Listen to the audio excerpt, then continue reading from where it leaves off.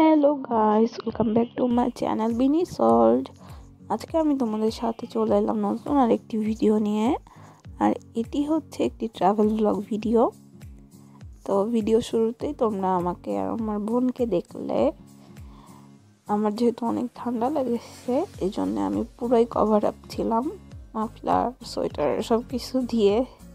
তো এই তো সকাল সকাল আমরা আমাদের যাত্রা শুরু করলাম।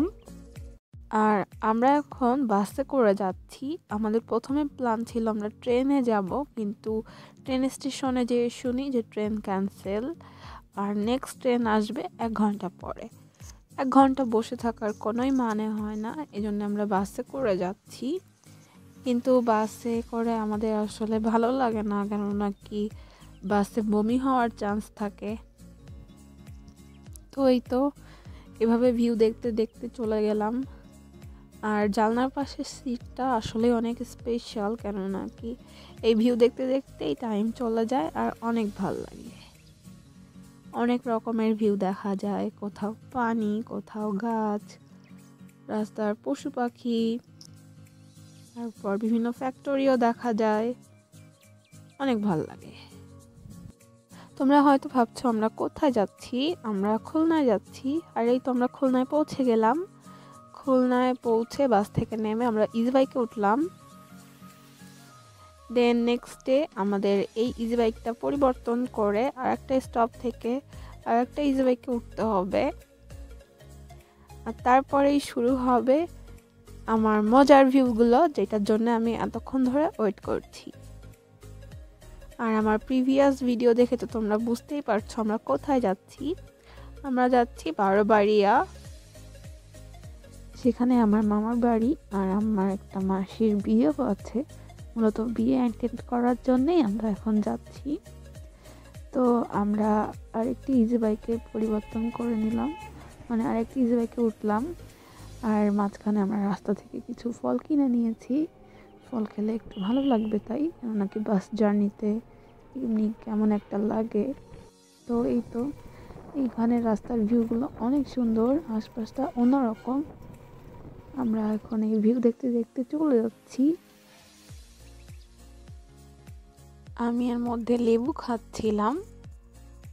আর যখনই কোনো সুন্দর ভিউ দেখছিলাম রেকর্ড করছিলাম, যদিও সম্পূর্ণ রেকর্ড করা সম্ভব নয়।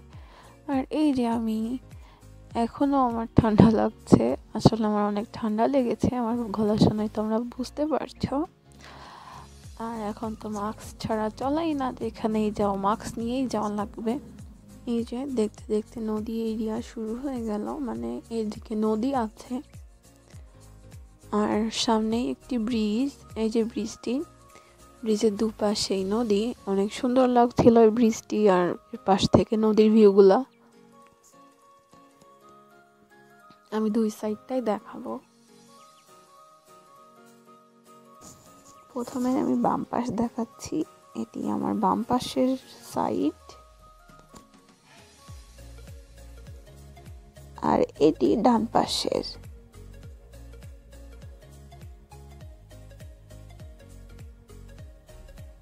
দুপাশই সত্যি সত্যি আরও বেশি সুন্দর ছিল। মানে ক্যামেরার থেকে সামনাসামনি ভিউগুলো অনেক বেশি সুন্দর ছিল। আর এই তো তারপর আমরা আবার চলতে থাকলাম। আর মাঝে আমি স্ন্যাপচ্যাটের জন্য কিছু ভিডিও বানাচ্ছিলাম। আর দেখতে দেখতে আমরা ভুটিয়া ঘাটা চলে আসলাম। এখান থেকে বারো বাড়িয়া আর বেশি দূরে নয়। আর আমরা যে প্রায় কাছাকাছি চলে এসেছি, সেটি বোঝার সবচেয়ে ভালো উপায় হচ্ছে, আশেপাশে অনেক নদী দেখা যাবে। এই যে নদীর পাশের এরিয়া, আর একটু সামনে নদী দেখা যাচ্ছে। আর একটু সামনে গেলে আরও ভালোভাবে দেখা যাবে। আর আমি একটু জুম করছি যাতে ভালোভাবে দেখা যায়। সামনে গাছপালার কারণে ভালোভাবে দেখা যাচ্ছে না। এই যে এখানে চর পড়েছে। এটি নদীর পাশের গলি টাইপের মানে এখানে জোয়ারের সময় পানি জমা হয়।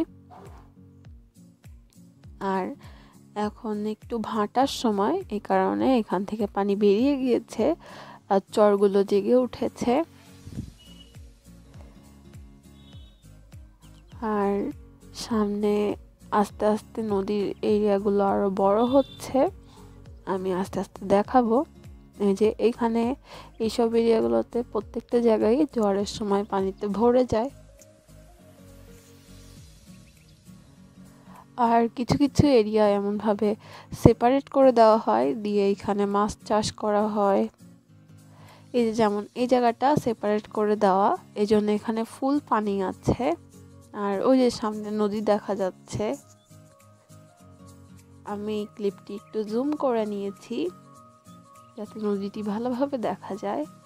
আগে এক সময় যখন আমরা আসতাম, তখন ট্রলারে করে আসা লাগতো, অনেক টাইম লাগতো। ট্রলারেই তিন থেকে চার ঘণ্টা কি তার বেশি টাইম লাগতো, তখন আসতে সারা দিন লেগে যেত। আর এই যে আমরা পৌঁছে গিয়েছি, এখন আমরা খেয়া পার হব মানে এই নৌকা করে আমরা নদীর ওই পাড়ে যাব। দেখো এখান থেকে নদীর ভিউটা কত সুন্দর লাগছে। আর নদীর ওয়াইটটাও অনেক বড়। এই যে আমরা এখন নৌকায় করে যাচ্ছি।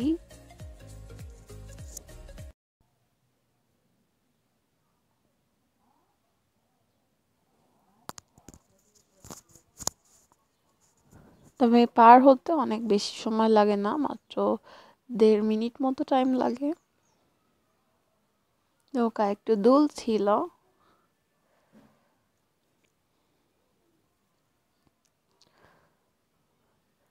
আর নদীর এই মানে নৌকার এই সাইডটায় লোকজন ছিল না এই জন্য আমি ভিউটি ভালোভাবে নিতে পেরেছি।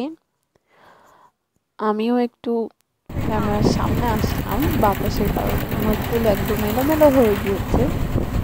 জার্নিটা ভালোই লং ছিল। আর এই যে আমরা নদীর প্রায় ওপারে চলে এসেছি ওই পাশের বাজার দেখা যাচ্ছে, ঘাট দেখা যাচ্ছে। আমরা ওই সিঁড়ির ওইখানে যে নৌকা থেকে নেমে গেলাম। আর এই যে নামার পরে আমি আশপাশের একটি ভিউ নিলাম। আরও এমন তিনটি ঘাট রয়েছে। এই যে এগুলা হচ্ছে কাঠের। যখন জোয়ার থাকে তখন ওই পাকা ঘাটগুলো দিয়ে যাতায়াত করা হয় আর ভাটার সময় ওই কাঠের ঘাটগুলো দিয়ে। আর তারপর আমরা এই যে ভ্যানে করে চলে যাচ্ছি বাসায়। আর আজ পুরো বাজার ফাঁকা ছিল, শুধু শুক্রবারেই এই পুরো বাজার ভরা থাকে হাটের দিনে। আর এই পুরো জার্নিটিতে আমার টোটাল পাঁচ ঘণ্টা লেগেছে মানে বাসা থেকে বের হয়ে মামা বাড়ি পৌঁছানো পর্যন্ত। প্রথম দিকে বাস জার্নিটা একটু টায়ারিং হলেও পরে অনেক ভালো লেগেছে। খোলা হাওয়া আসলেই অনেক ভালো লাগে। আর এই যে আমরা বাজারের মধ্যে দিয়ে যাচ্ছিলাম নদী পার হয়ে প্রথমে বাজার, তারপর গ্রাম শুরু হয়। শুধুমাত্র শুক্রবারে বাজার অনেক ভরা ভরা থাকে, বাকি কদিন এমনই ফাঁকা ফাঁকা থাকে। এই যে এখানে একটি মণ্ডপ, এখানে পূজা হয়। আর একটু সামনে যে একটি মসজিদ আছে, গ্রামটি ছোট হওয়া এখানে মাত্র বাজারে একটি মন্দির, একটি মসজিদ। এখানে সবাই খুবই শান্তিপূর্ণভাবে থাকে। আর আশপাশটা অনেক বেশি সুন্দর, চারপাশে নদী হওয়ার কারণে। অনেক দিন পর আসলাম এই জন্য খুবই ভালো লাগছিল আর আমি একটু সেলফি তুলছিলাম ভিডিও করছিলাম। তো আমরা দেখতে দেখতে প্রায় পৌঁছে গেলাম আর মাঝপথে এসে আমাদের ভ্যান ছেড়ে দেওয়া লাগল। এখানে আর যাওয়া যাবে না, হেঁটে যাওয়া লাগবে। কেননা কি রাস্তা অনেক উঁচু নিচু আর ওইখানে মাটি দেওয়া হচ্ছে যাতে বাঁধটা উঁচু হয়। নদী ভাঙনের ফলে সামনের এরিয়াগুলো সবই ভেঙে গিয়েছে। এখন এই রাস্তার বাম পাশে সম্পূর্ণই নদী, এই যে নদী দেখছেন আপনারা। আর একটু সামনে চমোহনা নেক্সট ভিডিওতে সেগুলো দেখাবো। আর এই যে আমরা এখন বাসার দিকে যাচ্ছি, দুপাশে অনেক ধান ক্ষেত, অনেক সুন্দর ভিউ আর নেক্সটে আমি গ্রামটি ঘুরে দেখাবো। আর আজকের ভিডিওটি এখানেই শেষ করছি। সবাই ভালো থাকবেন, সুস্থ থাকবেন আর আমার চ্যানেলটি সাবস্ক্রাইব করবেন। ভিডিওটি ভালো লাগলে অবশ্যই লাইক, কমেন্ট, শেয়ার করবেন। ধন্যবাদ সবাইকে।